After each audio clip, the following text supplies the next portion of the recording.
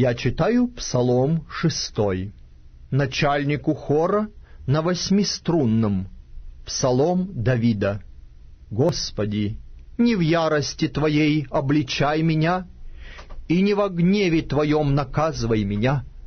Помилуй меня, Господи, ибо я немощен. Исцели меня, Господи, ибо кости мои потрясены, и душа моя сильно потрясена, Ты же, Господи, доколе.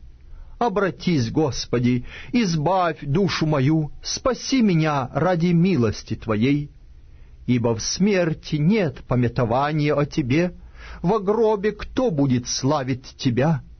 Утомлен я воздыханиями моими, каждую ночь омываю ложе мое, слезами моими омочаю постель мою.